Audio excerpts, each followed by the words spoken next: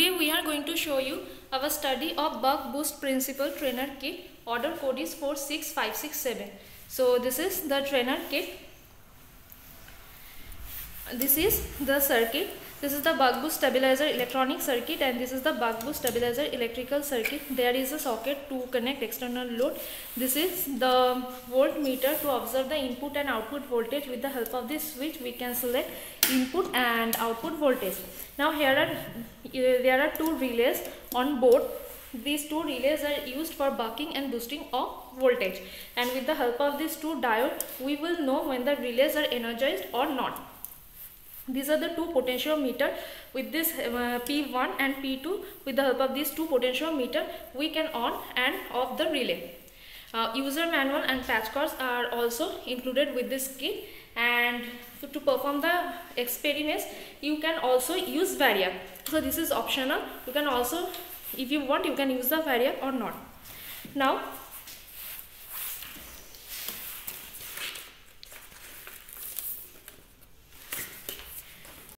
Our first experiment is to observe the buck boost principle. So first turn on the kit and we can see it is showing the input voltage that is around 240. Now our both relays are off in off position they are not energized. So now we can see the output voltage and we can see when the both relays are off the output voltage is increased. So this is the input around 240 and this is the output voltage it is something around 270 so this is the boosting of voltage. Now if we if we set this to uh, potentiometer so that relay 1 and relay 2 are energized the voltage will decrease. So we can see we have turned on one relay and the voltage has decreased to 240 volt which was our input voltage. Now again we will set this potentiometer to turn on the second relay and we can see the voltage is further decreased. This is the bucking of voltage. So this is the main principle of buck boost stabilizer. So here this potentiometer will use as lower setting voltage and this potentiometer will be as upper setting voltage. So this is our input voltage and this is our output voltage when both the relays are on.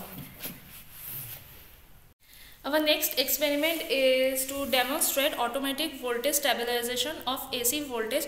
We can use this to perform this experiment. We can either use variac or we can directly use the main AC plus that is 230 volt 50 hertz AC but here I am using variac. So first turn on the kit. There it will show the input voltage. Also I am selecting the kit uh, selecting the voltmeter in input range. Now set the P, P1, P2 such as both the relays are in opposition. Now slowly increase the voltage.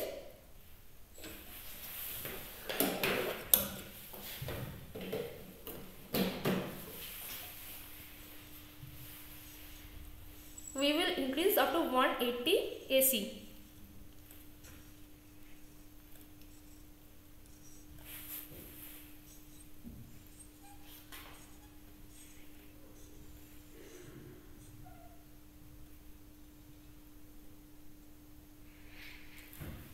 So we have given 180 AC. So this is 180 AC.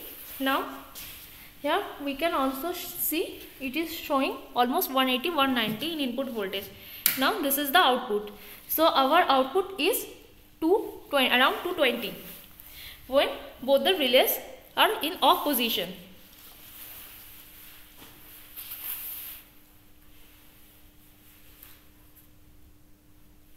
So this is happened because we have set the potentiometer in such a way that these two voltage are less than the Zener voltage. That is here we can see in the in the uh, panel surface. Now as the Zener volt as the voltage is less than Zener voltage so there is no current flowing through the base of this transistor. So that there is no voltage flowing um, flowing through the base of this transistor so transistor is in off condition and so there is no current in the LED so the relays are in off position. Now this is called the boosting of line voltage so we can see although our input is 180 our output is around 220 now we will increase this voltage up to 209 and we can also see as we are increasing the input voltage our output voltage is also increase so we are increasing up to 209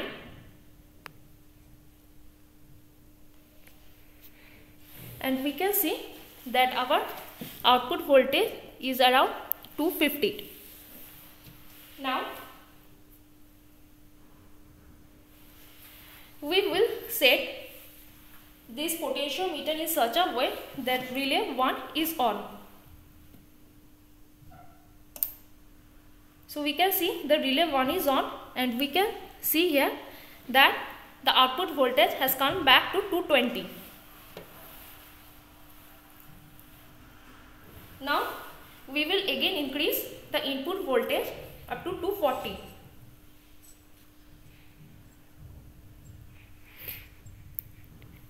So we can see as we have increased the input voltage 240, the output voltage is also showing 250. Now we will set this potentiometer P2 in such a way that relay 2 is on.